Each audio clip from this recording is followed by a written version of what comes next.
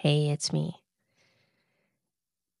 I've been thinking every emotion we feel, every thought we have, even the smallest personality traits we hold, they're kind of like these invisible rays of light that are uniquely ours. In a similar way, there are spiritual laws that are always moving, creating their own threads of light. When our personal rays align with those rays of the spiritual laws, we find harmony and happiness in our lives. And when they don't, we experience disharmony and challenges that, you know, often we mistake as random misfortunes.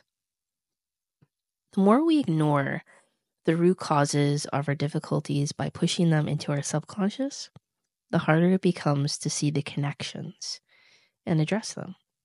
If we truly want to be happy, I think we need to dig deep and address these flawed roots within ourselves. It's kind of a radical approach in that a lot of people are not doing this, but it's really about getting to the root of things. I think that's the path of healing and personal growth. You know, if you're seeking a connection with something greater, like a higher power, the universe, God, I've noticed that, you know, as you seek that connection, there's support, there's guidance that comes in. I feel like I'm in good hands, so to speak. Yet we might need outside help to remove the initial barriers. I think most of the time we do. These initial barriers that block our connection with the spiritual world the help could come from different sources. It could, could come from someone who's already walked this path. Maybe they're, you know, a few steps ahead of you, so to speak. It could come through spiritual guidance, like inner guidance. External help, though, I think is is more of a starting point. It's like the seed, because it's up to us to nurture the seed and work towards our own inner breakthrough we can't truly accept or understand something just because someone tells us it's true. That's also the reason why, although external help is absolutely helpful, it's not the be all end all. Right? We, we often, it's not a full experience if we just uh, are doing this at the mental level especially if we have internal doubts or resistance. All the profound truths and spiritual laws need to be personally experienced. It needs to be a known experience in order for them to become real and meaningful to us. It's the personal experience that allows us to apply the truths in our own lives. Insight, I think, I've noticed this insight comes when we establish a personal connection with the spiritual realm.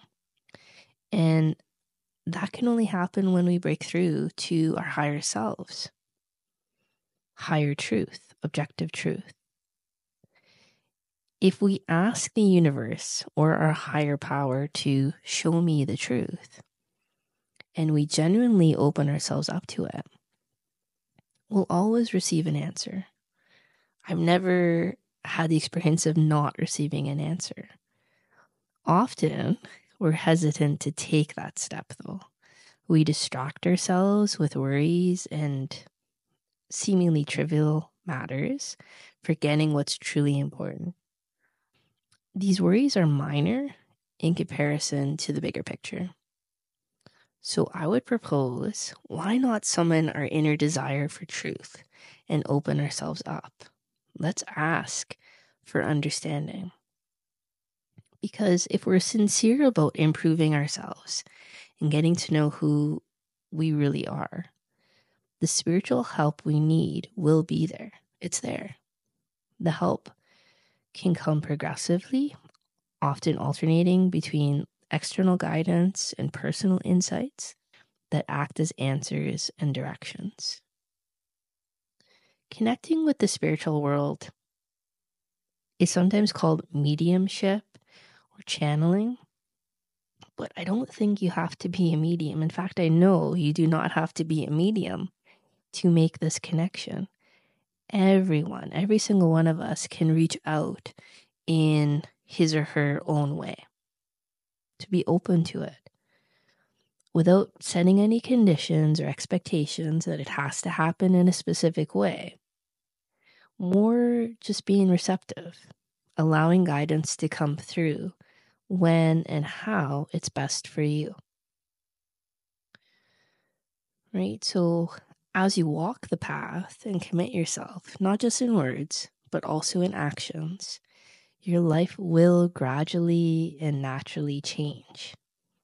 It's amazing how things fall into place without causing harm or disruption.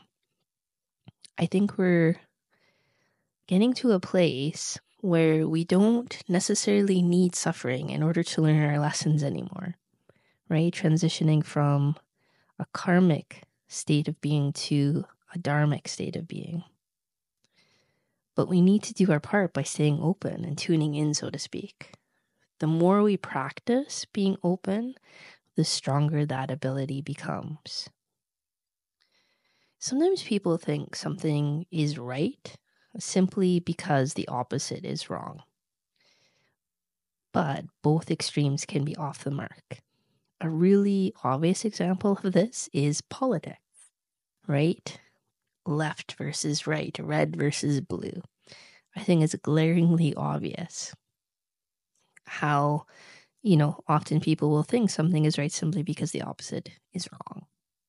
But is that always the case?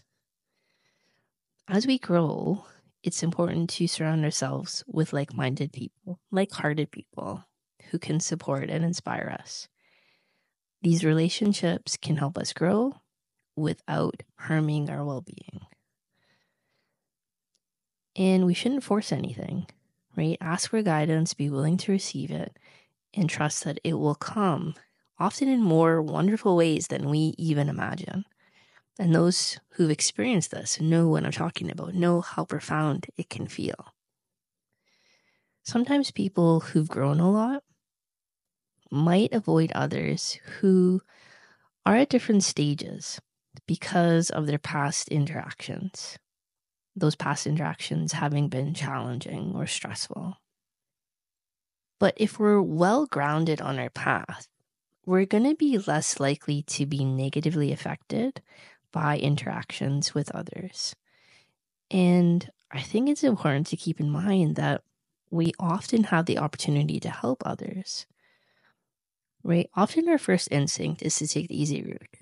I've been there, I've done that, right? Avoid conflict. First instinct. But those who can those who can still be influenced negatively might avoid giving up certain relationships because they don't feel um, uncomfortable yet, right? It's like status quo, they're still in their comfort zone. They might think they can help others, but they might not be ready and could up and you know could end up feeling drained, right? Because they can they're still in a place where they're being influenced by negativity or negative energies. In that case, it might be better for them to seek out relationships that strengthen them, right? That lift them up. Now, on the other side, those who are strong enough not to be harmed or as easily influenced by those negative energies often are avoiding challenging relationships because they find them unpleasant, even when they can offer help.